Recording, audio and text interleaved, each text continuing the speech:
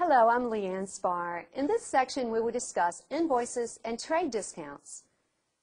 The topics we will cover are we will complete an invoice, we will understand common shipping terms, we will calculate trade discount and understand why they are given, we will differentiate between single and series discounts, and we will use complements to calculate series discounts. Let's begin by defining an invoice. An invoice is a tool that businesses use that provides a printed record of a purchase and a sale.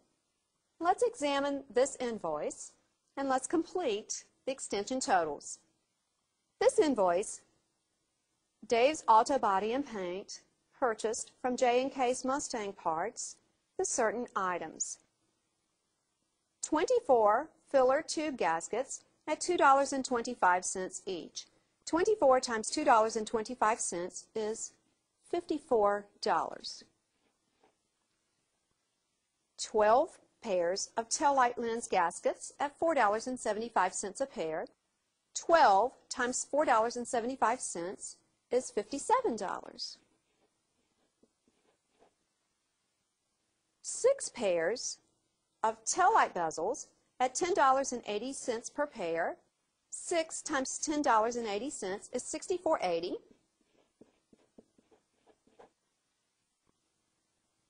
Two gross of door panel fasteners at $14.20 per gross. 2 times $14.20 is $28.40. And 18 bumper bolt kits at $16.50 each. 18 times $16.50 is $297. So the invoice total, we add this column, is $501 and 20 cents. We add on shipping and insurance to obtain a total amount due of $524.95. You will notice that the terms on this invoice say net. Other invoices have different terms. You will see the terminology FOB, which means free on board. When the terms are FOB shipping point, that means that the buyer pays for the shipping. If we have FOB destination, that means the seller pays for the shipping. Cash on delivery means the shipper delivers upon receipt of cash. And FAS means free alongside ship. The freight charges are paid to the dock by the shipper. Now let's look at some definitions. Trade discounts are often given and are subtracted from the list price on an invoice. A single discount is when only one discount is offered. A series or chain discount is when two or more discounts are combined. Now let's use complements to find the series discounts and to get the net cost equivalent.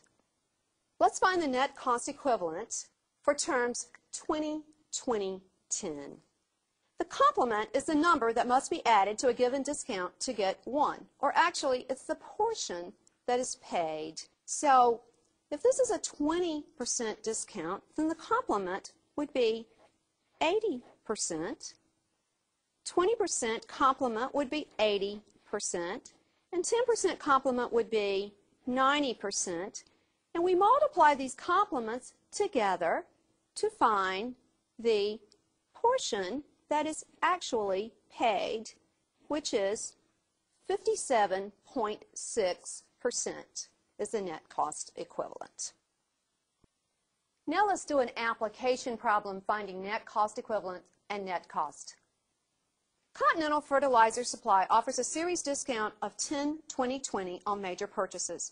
If a 58,000 gallon tank bulk of liquid fertilizer is list priced at $27,200, what is the net cost after trade discounts? So we have a series discount of 10 20 20. So we will obtain the net cost equivalent by multiplying the complements.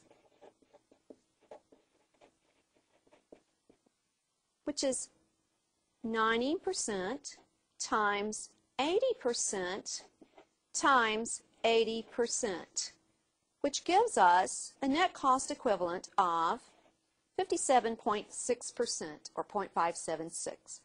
So the net cost of the liquid fertilizer will actually be $27,200 times 57.6% or 0.576 which is $15,667.20.